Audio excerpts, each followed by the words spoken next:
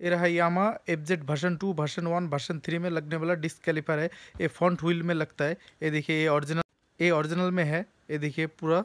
ये रहा original part number इसका सत्रह सौ तीस रुपये इसका एमआरपी है। इसमें भी आपको फाइव परसेंट डिस्काउंट मिल जाए